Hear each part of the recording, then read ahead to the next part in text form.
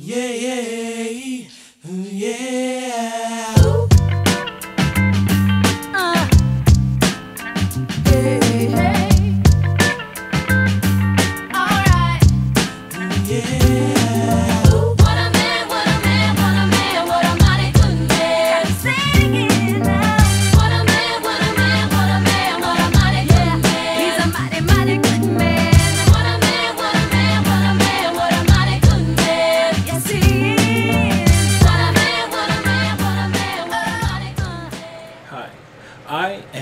Sadio, and this is another one of my videos trying to help you models, you male models.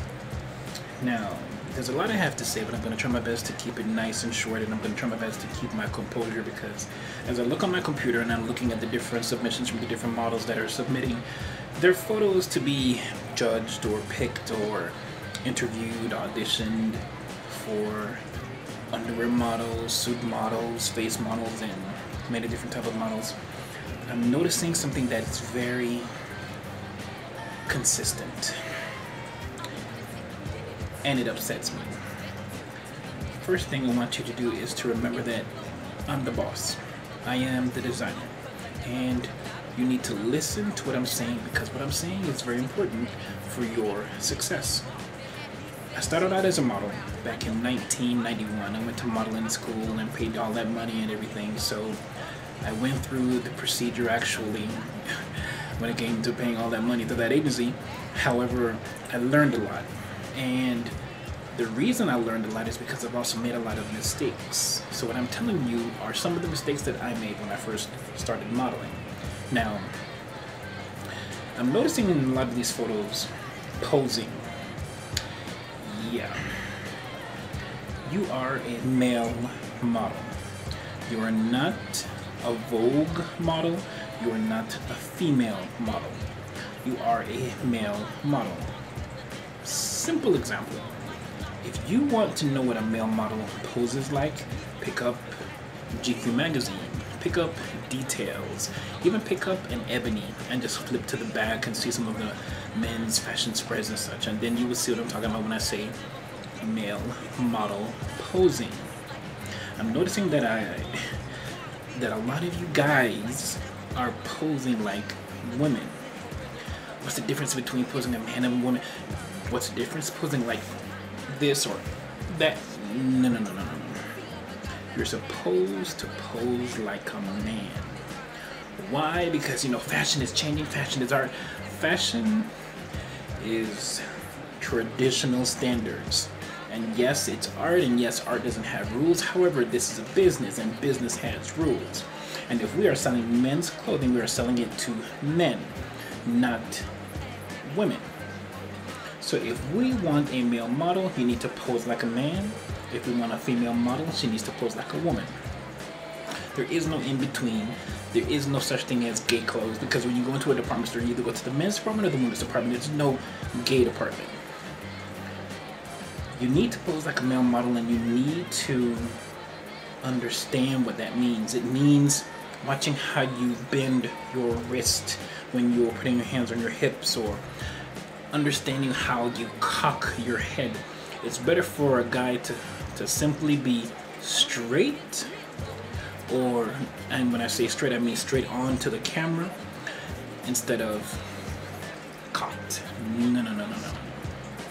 If you are going to pose like a man and you're going to use your hands, make sure you do masculine poses. Simple poses. Nothing where the fingers flare out and all this kind of stuff. No.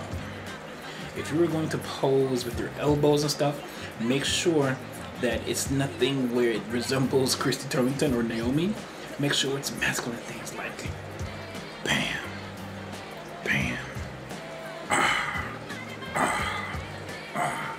things like that.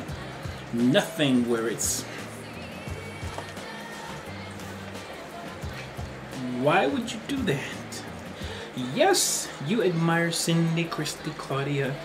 However, if you want to be a male model, you must look like one. It is so important. So please stop that. If you don't know how to pose, don't pose at all. Just take a nice photo. Smile. Show pretty white teeth. Look to the side. Show a profile. Left backwards. Ha ha. Let's do something simple.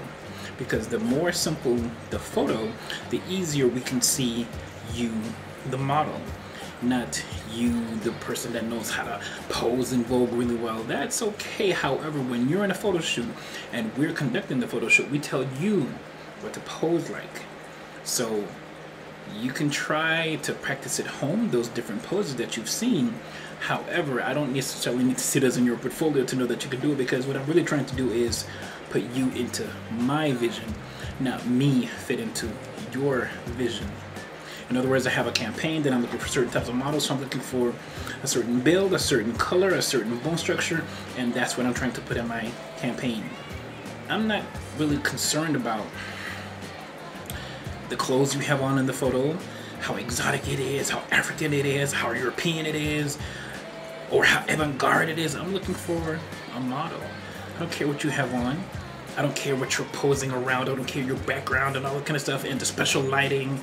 I don't care anything about that. I'm looking for a fresh face, a nice physique, a beautiful smile. If you are going to be a male model, you must understand that you have to be very attractive and make us want to hire you. The way you make us want to hire you as a male model is pleasing us. You please us first by showing that you are masculine. You please us by showing that you are attractive. And you please us by showing that you are a professional. Show up on time, come to the studio, put on the different clothes that we tell you to put on, and then we'll call you. So, if you want to be successful, listen to what I'm talking about because this is really getting on my nerves and I'm looking at these different submissions. Now, one thing that we always look at, us designers, is we look at the face. The face is very important. I'm gonna make this nice and simple. No pimples, no bumps, no humps, lumps, no moles, no scars, none of that. If you have one and it accentuates your face, good. Like Cindy Crawford's mole. They always told her to remove it, but she didn't want to, but that made her kind of unique. If you're special like that, then perhaps. However, eat right. See a dermatologist.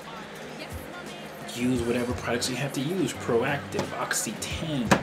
Wash your face really good. Neutrogena, Avon, Mary Kay, whatever.